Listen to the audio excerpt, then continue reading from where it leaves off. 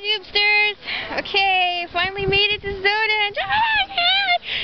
It like took three hours on the bus, and there was no air, and it smelled like exhaust the whole way. Hmm.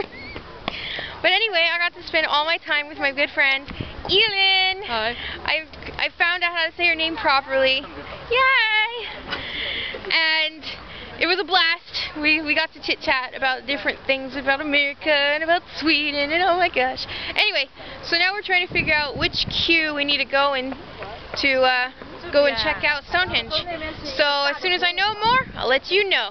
And I'll talk to you later. Bye, Doobsters.